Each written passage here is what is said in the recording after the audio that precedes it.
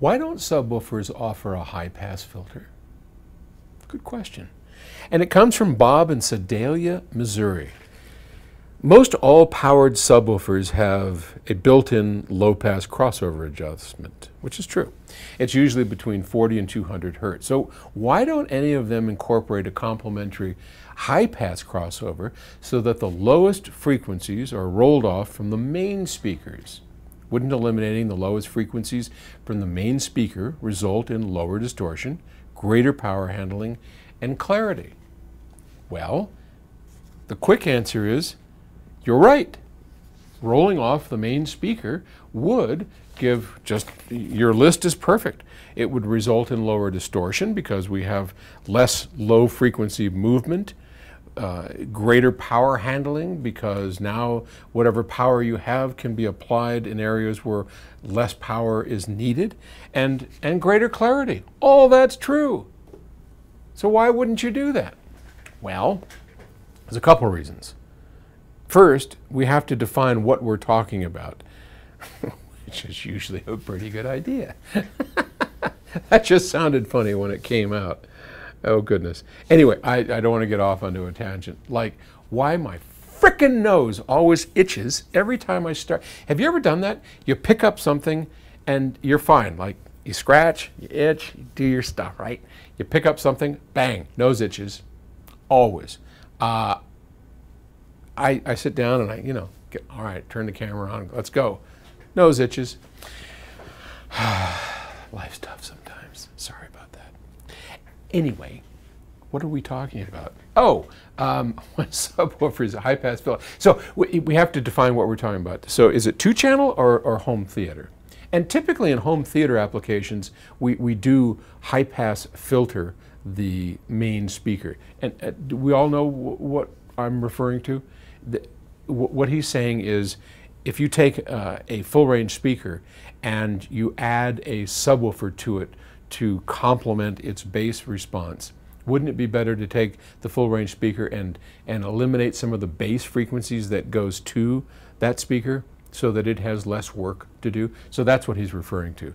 And in a lot of cases, in home theater applications, there it is, my head itches, um, the that's exactly what they do. But in two channel situations, I am not an advocate of it. Yes, there are advantages, but everything that we do comes with what I like to call baggage. So there's the good news and there's the bad news. You've identified the good news. The bad news is several fold. One, we have to put the uh, effects of the high pass filter into the equation, right? Now, to you certainly don't want to have a high pass filter on the output so that the output of your power amplifier is high pass filtered. So you want to do that on the input.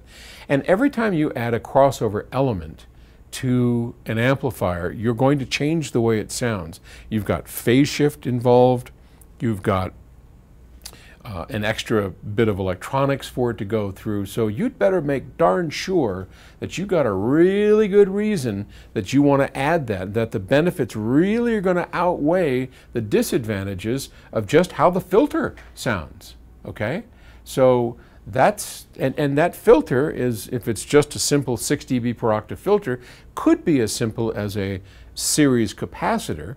But if you want to do a 12 dB per octave filter, now you're going to add active electronics. And now you're running it through a whole nother stage.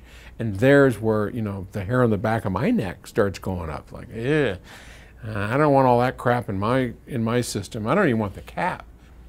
But that's another story. So that's one reason. We don't want to add that extra filtering if we're working with doing as little harm to the signal as possible and we're talking about a high resolution, high end audio system.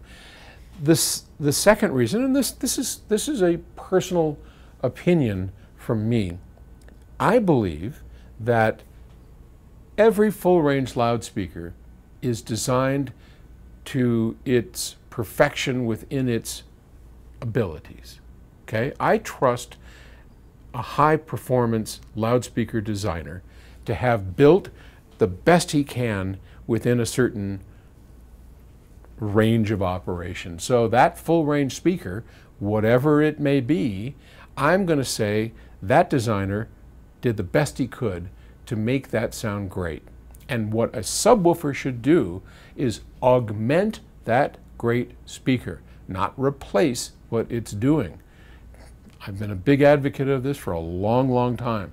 Subwoofers should enhance, should never be heard, should only come up and just fill in the gaps where your loudspeaker can't be full range. And unless you have a big box or a servo controlled woofer within a, a smaller box that is part of your main speaker, then you need a subwoofer. Because unless you have that, you don't have full range bass. And if you're like me, how much, you know, you don't want to miss out on the music. How much of the frequency range are you willing to miss out on? There's information on those albums and those records and those CDs that I don't want to miss out on, whether it's the noise of the air conditioner or people shuffling around on their feet, whatever. If that was part of the recorded experience, and often it is, that gives me a sense of realism that I don't get any other way. And I certainly don't get it with my main speaker. So I want my main speaker left virgin, alone. Leave it alone, set it up as best you can, then add a sub gently and carefully to augment and fill in the areas where your main speaker doesn't perform up to snuff, and you will have an amazing system. Thanks. Good question.